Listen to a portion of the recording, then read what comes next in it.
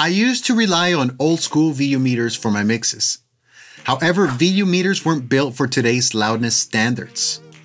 They don't show you LUFS, they miss intersample peaks, and they don't tell you if you're hitting the target required by these platforms. That's where PSP Metra comes in. It's a complete metering solution that tells you everything you need to know about your audio.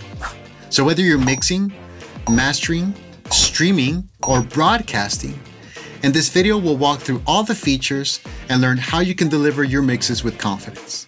Let's jump in.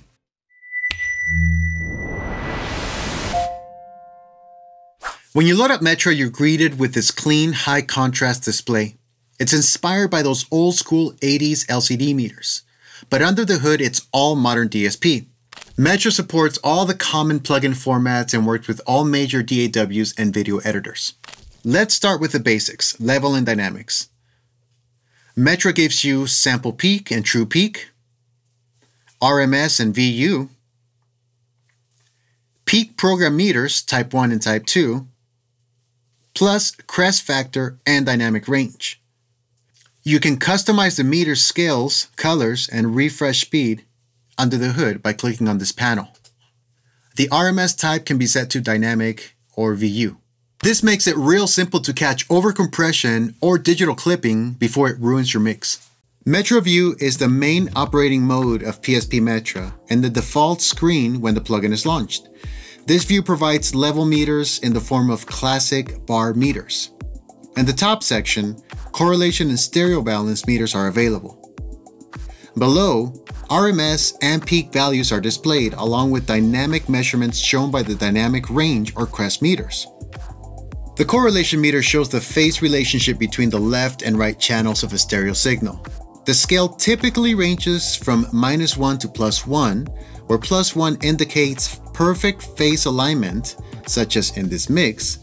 If I hit stop, 0 represents no correlation, and if I flip one of the channels out of phase, you'll see that negative 1 means complete phase inversion between channels. You can access the minimal view by double-clicking on the meters. Minimal view displays only the level and dynamics bar along with their maximum numerical values. This view offers two modes, standard and loudness. In loudness mode, the dynamic meters are replaced with loudness meters that display momentary, short-term, and integrated loudness values. Click the option menu, engage loudness, close the option menu, and double-click on the meters. Each meter uses a three-layer display the light blue bar represents a smooth and filtered average value. The semi-transparent brown bar shows the range of changes that occurred during the last 3 seconds, and the red marker indicates the instantaneous value updated in real time. Next up, stereo and phase. Metra's got an advanced goniometer, showing you sum and difference or Lissajous modes. It also has a correlation meter to warn you of phase issues, a panorama balance meter mid-side analysis with optional mid-attenuation, and visual mono compatibility checking. Whether you're widening your mixes or folding it down, this view helps you stay out of trouble.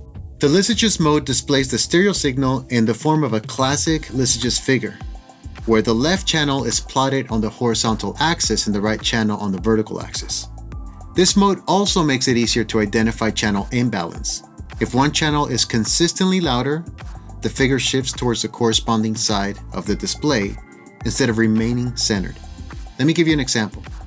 Let's increase the volume to the left channel by 6 dB. Notice how there's a rapid and irregular shape which indicates a highly dynamic stereo behavior.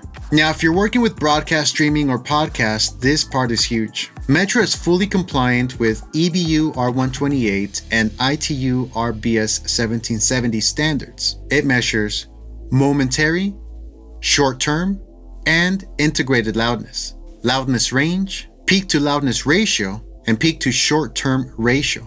And for dialogue, it has Dolby Dialogue Intelligence built in to keep you within the platform guidelines. An optional dialogue integrated mode is available, based on Dolby's Dialogue Intelligence speech gating algorithm.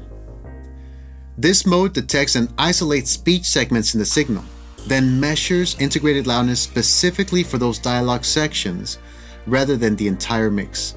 The goal is to provide a more perceptual, relevant metric for spoken content, ensuring accurate loudness evaluation for dialogue focused material. This function is particularly useful not only for broadcast or streaming engineers, but also for podcast creators, YouTubers, and other content producers who aim to maintain consistent dialogue and intelligibility across episodes or platforms. It also includes presets for Spotify, Apple Music, YouTube, Netflix, and more, so you don't have to guess. Metra View is an all in one panel. You can access the minimal view by double clicking on the meters.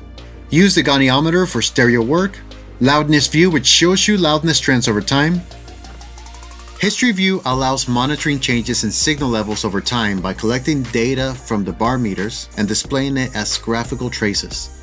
The maximum length of the history buffer is 120 seconds. This view is divided into three main sections history traces, histogram, and wave. The histogram bar on the left side shows a distribution of RMS VU values for the time range currently visible in the history trace. And at the top of the history view window, there is the wave sub window section, which displays the audio envelope and provides a visual reference for the level traces in the history traces section. Peak enables or disables the display of the peak trace in the history window. Dynamic button engages or disables the display of the dynamic trace. Dynamic view switches the way dynamics traces are displayed in the history view. Dynamic type toggles between dynamic range and crest factor display. The reset button clears all history buffers and starts accumulation from scratch. Freeze stops the updating of history traces, allowing closer visual inspection of the displayed data.